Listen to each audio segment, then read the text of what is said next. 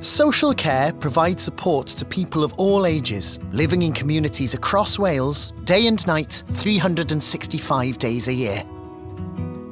People access care and support for various reasons. It could be to get support to establish safe and stable environments, to manage their physical and mental health, or to live independently.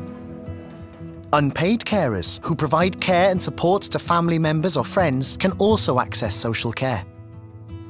The term social care covers a range of activities such as practical and emotional support, providing information, advice and equipment, safeguarding, and personal care. Social care can take place in a range of settings, including people's homes, care homes, day centres, hospitals, or in other community locations. It's provided by organisations including local authorities, private companies, charities, and not for profit organisations. A significant amount of care is also provided by unpaid carers. Tens of thousands of highly skilled, well-qualified professionals work in social care in more than 75 roles.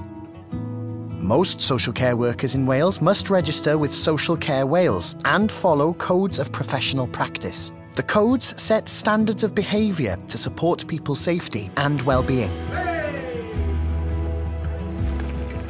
Social care workers support people to express what's important to them and set goals by building meaningful relationships that value people's experiences, language, and culture.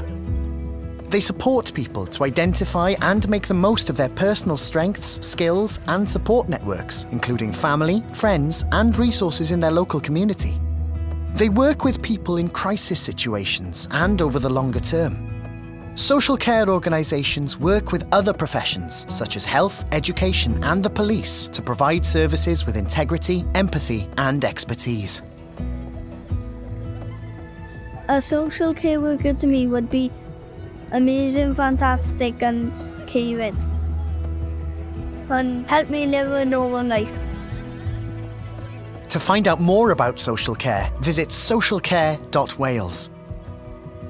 Want a career in care? Visit wecare.wales.